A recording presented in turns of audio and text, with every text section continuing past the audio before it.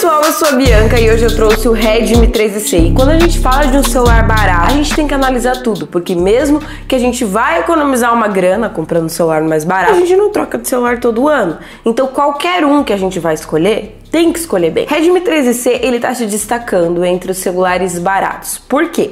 Primeiro, ele já vem com um conjunto de câmeras que está entregando muito mais do que o preço que você está pagando. Inclusive, é o mesmo conjunto de câmeras que a gente encontra em celulares hoje em dia de R$ 1.300 e ele custa 750 reais. Então já é um pontinho aqui para ele. Esteticamente também, ele é super completo, além de ser bem bonito, com uma traseira fosca, lisa, um conjunto de duas câmeras traseiras. Em volta das nossas câmeras, a gente também tem uma parte espelhadora, né?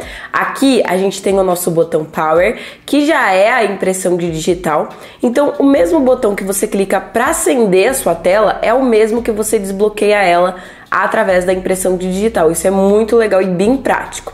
Aqui é o botão de volume, em cima a gente tem entrada para fone de ouvido, desse lado de cá a gavetinha para os chips, inclusive você pode colocar até dois chips ou um chip e um cartão de memória aqui. Aqui a gente tem entrada para carregar já o USB-C, microfone para ligações e a nossa saída de som. Então esteticamente ele é completo, ele tem tudo que a gente precisa, né? Além de já ter o cabo USB-C que é bem atual e qualquer carregador aí vai carregar o nosso celular, né? Qualquer cabine. Aqui a gente tem uma tela de 6.74 polegadas, é quase de 6.8, então é uma gigantesca tela.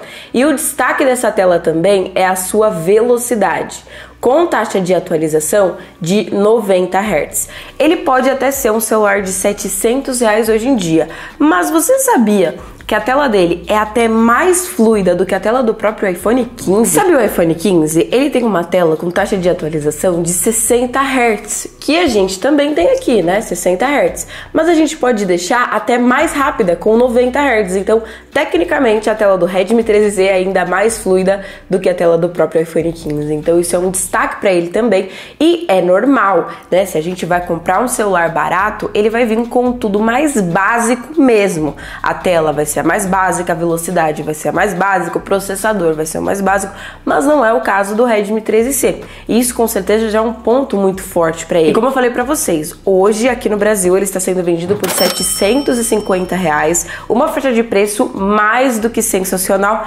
E pra galera que tem dúvida da onde é que eu achei com essa faixa de preço, eu vou deixar o link aí na descrição, do mesmo lugar que eu comprei o meu. E para você ter acesso ao link da descrição, vamos dizer que é esse vídeo aqui que vocês estão assistindo. Você vai clicar aqui em mais, embaixo do título, para ter acesso aos links da descrição. E aí você vai ser jogado direto lá na loja onde eu comprei o meu também. A tecnologia da nossa tela, ela é LTPS LCD. É uma tecnologia de tela mais simples, porém suficiente também para qualquer tarefa para você assistir, para você jogar ou até mesmo para você trabalhar. É uma telinha com uma qualidade suficiente. E é claro, quando a gente fala de celular barato, a gente já imagina que não vai rodar nenhum jogo, ou se rodar vai ficar bugando e travando. Com o Redmi 13C a gente não tem esse tipo de problema. Eu abri aqui o Call of Duty, que é justamente um dos jogos mais pesados da Play Store. E olha só, eu vou mostrar para vocês as qualidades que a gente vai conseguir jogar em um celular de 700 reais, ó. Qualidade gráfica média, taxa de quadros alta. São qualidades que a gente jogaria em celulares de 1.300 reais. E o processador que a gente tem aqui é da MediaTek, o Helio G85. E vai rodar assim, liso qualquer tipo de jogo, graças à nossa telinha de 90 Hz e graças a esse processador que aguenta qualquer tipo de tarefa. Então, com o Redmi 13C você vai conseguir jogar todos os jogos que você quiser. Claro, dependendo do jogo, você vai jogar com qualidades mais baixas, né? Porém, vai rodar liso. E se você quiser usar para trabalho, para redes sociais, ele também vai se sair muito bem mesmo. Ah, e se você quiser jogar o dia inteiro, você também vai poder, tá? Porque a gente tem 5.000 mAh de bateria, que é a bateria para dar e vender, vai durar o dia inteiro. Basicamente, com 100% você tem mais de 24 horas de uso. Então, muita bateria a gente tem aqui. Vocês viram tanto que eu sou ruim jogando, né? Então, você deixa o like aí pra mim não desanimar e aprender a jogar melhor. Eu deixei o melhor por último, que são os nossos nossas câmeras. O conjunto de câmeras inteiro tá muito elaborado. Olha só, a nossa câmera padrão veio com 50 megapixels com sensor da Samsung. Realmente, uma câmera muito boa. Nós temos uma lente macro também de dois e essas são as nossas duas únicas câmeras traseiras. Então é um conjuntinho de câmera elaborado, independente do ambiente, do ângulo que você tenha, sempre você vai tirar uma foto legal aqui. E a nossa câmera de selfie, ela veio com 8 megapixels. E aí, pessoal, o que, que vocês acharam? Quero que vocês comentem. Comentem aí porque eu quero saber a sua opinião. Como vocês puderam ver, é um celular completo sim e hoje em dia, em 2024, Tá fazendo sentido, né? Obviamente.